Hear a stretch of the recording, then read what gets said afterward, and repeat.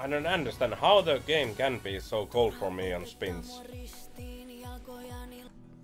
Mhm, mhm. Now or never. Come on! Give me the freaking wilds now.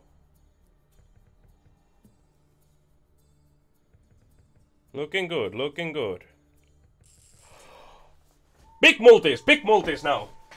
Big multis now, like 100x. And it's a fucking amazing win. Well, it's a good one anyways. Big multi. Seven at least. Fuck. Well, it's a good one still. It's a good one still. Yes! Finally we are getting something from this. 5.4k. That's really nice. That's really nice.